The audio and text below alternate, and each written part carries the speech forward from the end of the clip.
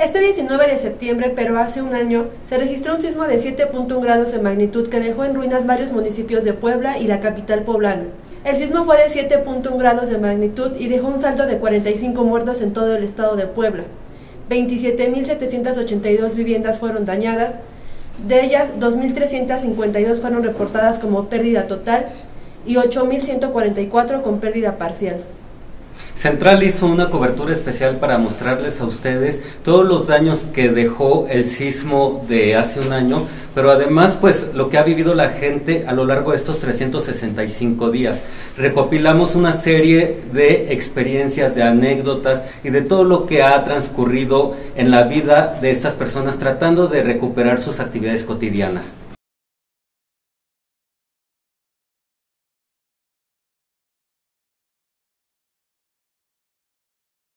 Dentro de los municipios que resultaron más afectados y las comunidades más afectadas están Pilcaya, Izúcar de Matamoros, Chautla de Tapia, Chetla, Alpanocan, Atzala, Atlisco y Metepec.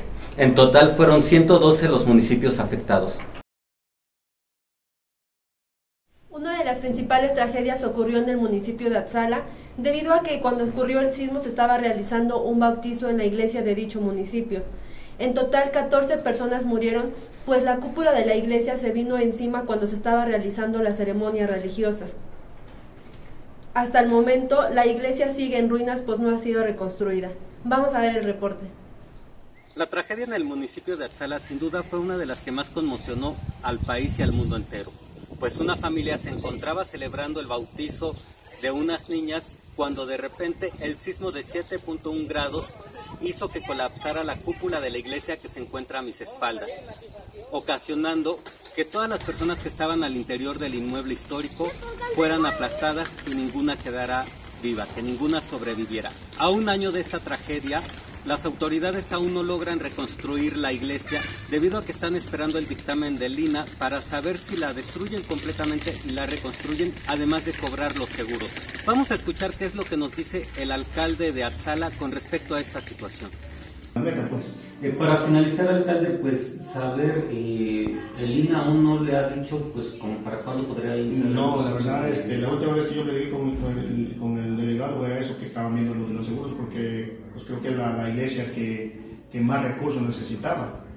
Entonces, hasta ahorita no ha habido ningún, ningún movimiento. Estamos a la espera de que ellos notifiquen, porque, pues, como uno no puede meter mano ahí, pues estamos en espera de la decisión de ellos. Ok, bueno, muchas gracias.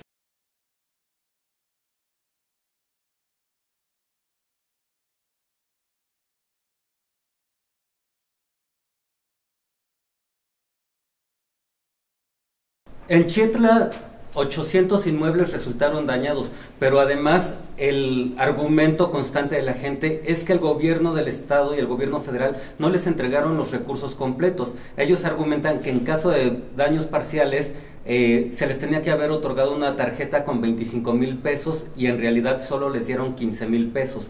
Además que a las viviendas con daños totales les dieron recursos por el orden de 120 mil pesos. En Izúcar de Matamoros, la reconstrucción más rápida fue del centro escolar, que con ayuda de CEMEX y el gobierno del estado lograron levantarlo en menos de un año. Vamos a ver el reporte. En el municipio de Chietla se vieron afectadas 800 viviendas por el sismo del pasado 19 de septiembre de 2017.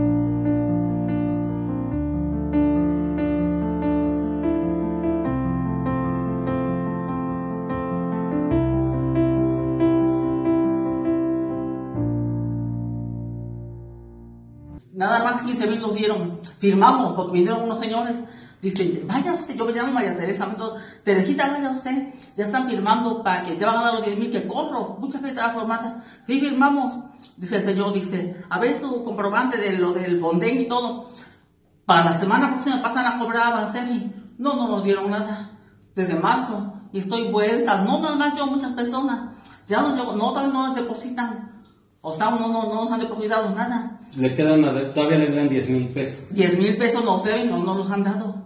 Y nomás están que no para acá, le están dando el daño total, si le dieron muchito. Le dieron una cantidad fuerte. Y yo pues era año parcial, pero pues nomás lo que me dieron me alcanzó para nada más el bañito. Pero me quedé sin tinaco, la casa está cuarteada y de Matamoros fue otro de los municipios del estado de Puebla que resultó afectado por el sismo del pasado 19 de septiembre del 2017.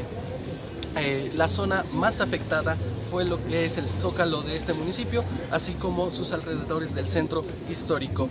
También eh, lo que fue el centro escolar Lázaro Cárdenas fue uno de los inmuebles más afectados, sin embargo el gobierno del estado en coordinación con Cemex lo reconstruyeron récord de un mes y actualmente ya opera sin ningún problema.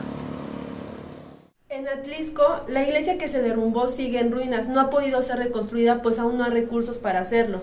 En Metepec, también en Atlisco, hay gente que sigue viviendo en la calle, en casas de campaña y hay 600 alumnos en aulas móviles, pues tampoco han podido ser reconstruidas las escuelas algunas viviendas que se han entregado o las personas que pudieron ya estar viviendo en algún lugar, pues son casas de campaña grandes y algunas otras fueron reconstruidas con el apoyo de los mismos vecinos. Vamos a ver el reporte.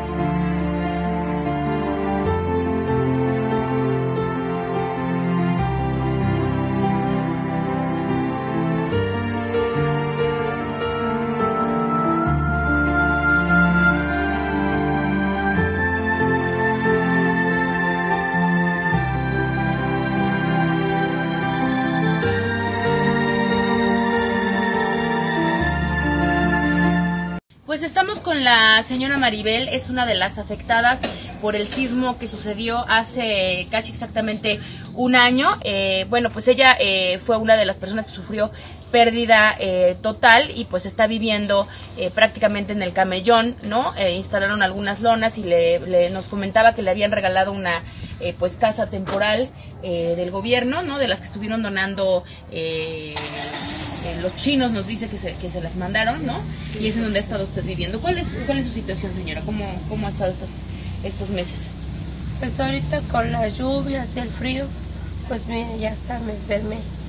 Pero pues ahorita, pues ahí vamos pasando Nos decía que ya le había llegado la tarjeta con 90 mil pesos para el material, pero que lo que les hacía falta es el dinero para la mano de obra. la mano de obra porque ya no, vaya, no nos dieron, nada más dice que La casa que de la señora Maribel que quedó derribada por el sismo es la que está aquí justamente enfrente, ¿no? Ustedes pueden ver, lo único que han podido hacer es levantar los escombros, pero eh, eh, hasta ahí, por eso ella está viviendo aquí frente a la casa. Bueno, pues Maribel y su familia lo que están buscando es un apoyo para poder eh, construir, levantar la casa. Ya tienen ellas algo de dinero que les dio el gobierno para el material. Están buscando pues quién les puede ayudar con, con la mano de obra.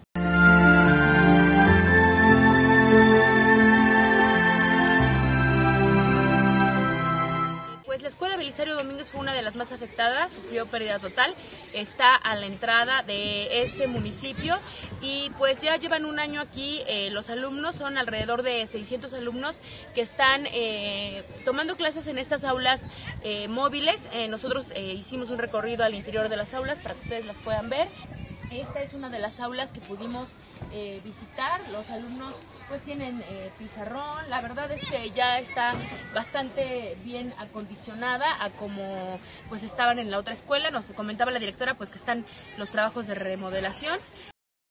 Sin embargo, de las tragedias más graves son las que viven las personas en los municipios de Pilcaya y de Jolalpan, pues aquí el gobierno federal les entregó casas de papel La constante en estas viviendas es que se les filtra el agua y hay goteras, además de que son fáciles de abrir, por lo que muchos de estas personas ya han sido víctimas de la delincuencia. En total en Jolalpan reconstruyeron 151 casas. Vamos a ver el reporte.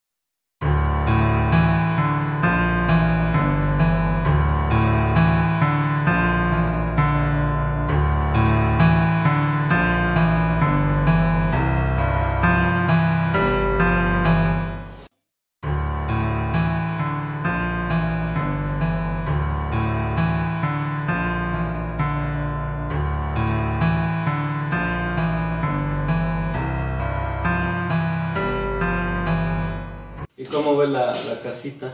Pues no la veo muy bien porque cuando llueve se transmina, gotea, tiene goteras. Y ya por mi cuenta, por mi cuenta propia, el sábado compré un bote de, de impermeabilizante y ya se lo pusieron porque pues no me gustó como, como quedó, ¿verdad? ¿Qué tal amigos de Periódico Central? Nos encontramos en San Juan Pilcaya, aquí junto auxiliar de Chautla de Tapia y bueno, a un año de la tragedia del sismo del pasado 19 de septiembre continúan los estragos. La mayoría de las casas ya fueron reconstruidas, pero son pequeñas o algunas sufren de goteras. Estamos a 20 kilómetros de Azochiapan, municipio que fue afectado por el sismo y el epicentro del movimiento telúrico.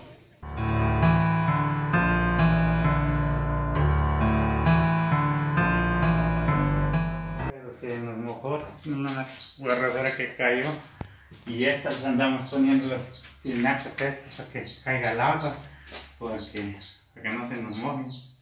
Los botes ahí los ponemos ahí en la mesa, ponemos otras tinitas porque también allá está la otra gotera.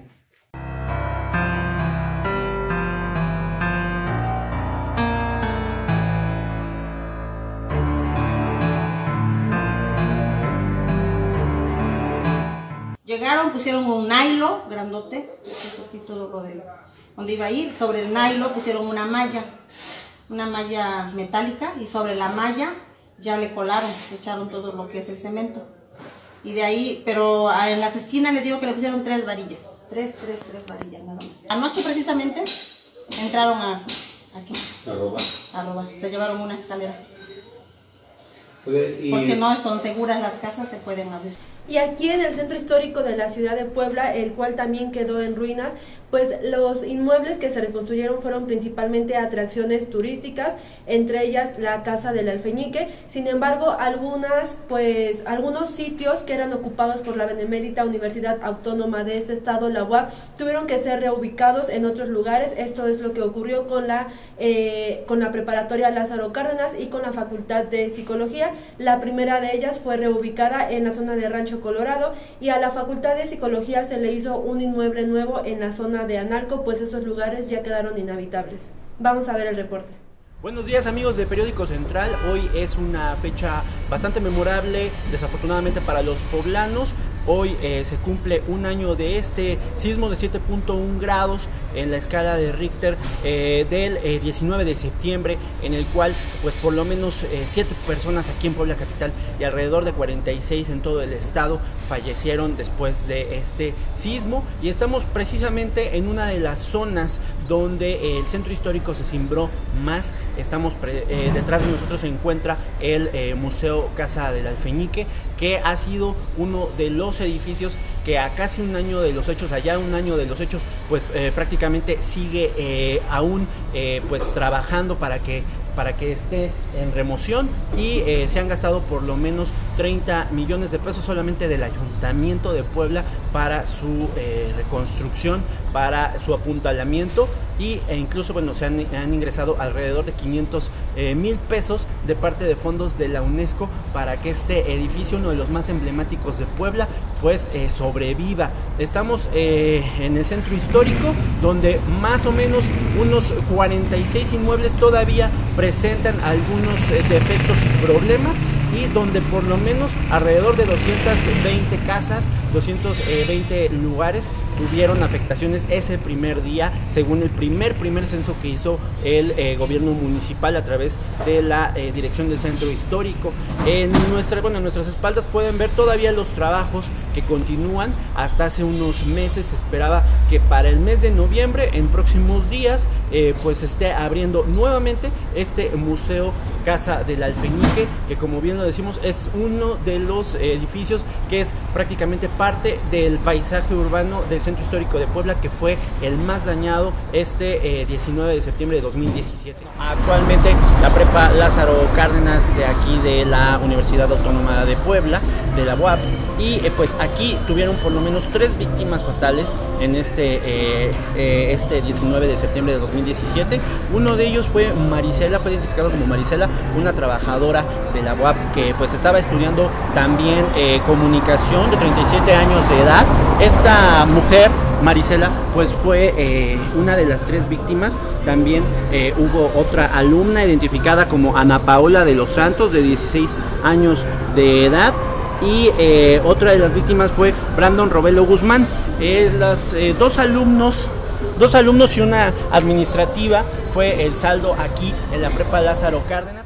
Eh, pueden darse cuenta y si recuerdan un poco los recorridos que estuvimos realizando aquí en Periódico Central y para Página Negra, en la zona aquí de Santa Clara hubo varias casonas dañadas. Vamos a llegar a la esquina precisamente de la 2 Norte con, con 2 Poniente.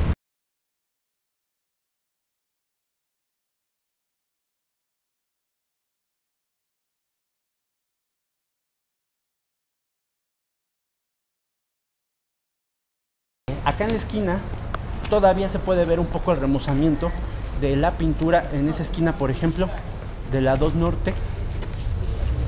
Todavía pueden verse las cicatrices que dejó el sismo en los edificios. Y eh, en esta contraesquina también había daños en la fachada, grietas que prácticamente iban toda la esquina de la fachada. Todavía puede verse un poquito la grieta, si nos eh, podemos enfocar en esta esquina derecha, puede verse todavía cómo llegaba, llega la grieta hasta allá. Han tenido pues eh, remozamientos eh, menores. Eh, amigos, pues estamos ya cerrando este recorrido con Zócalo de Puebla. Estamos en la esquina de la 2 Sur y la 3 Oriente, donde pues se encontraba prácticamente apuntalado este edificio tanto el INA como el Ayuntamiento Protección Civil, eh, si tienen detectado que ese inmueble todavía no puede ser habitado, pues prefieren cerrarlo o pedirles a sus propietarios que no lo utilicen, por ejemplo, en este caso, de manera comercial. En la parte superior pueden verse que ya fueron colocadas algunas lonas simulando eh, pues ventanales eh, típicos del centro histórico. Y aquí en el mero mero zócalo de la ciudad hay otro inmueble al fondo que es el que ocupa la Nueva España. Ese prácticamente ya está al 100% utilizándose. Se puede pasar todavía por esa parte del pasaje del municipio. Aquí cerramos este recorrido. Muchas gracias por acompañarnos eh, a Periódico Central de la Página Negra. Yo soy Edmundo Velázquez y eh, estamos eh, con más información sobre este primer aniversario del 19 de septiembre, el primer aniversario de este sismo de 7.1 grados con epicentro en Azochiapan, Morelos. Gracias. Amigos de Periódico Central y Página Negra, es así como los poblanos que fueron víctimas del sismo del pasado 19 de septiembre de 2017 han tenido que ir sobreviviendo y recobrando su vida normal. Para ellos ha sido muy difícil. En algunos casos, como lo vimos, siguen viviendo en la calle, otros se fueron a vivir con sus familiares y además tienen la esperanza de que sus viviendas sean reconstruidas y de regresar pues a sus actividades cotidianas, siempre con el miedo de que vuelva a temblar. Esta fue una cobertura especial que hizo Periódico Central y Página Negra a un año del sismo del 19 de septiembre de 2017. Muchas gracias por seguirnos.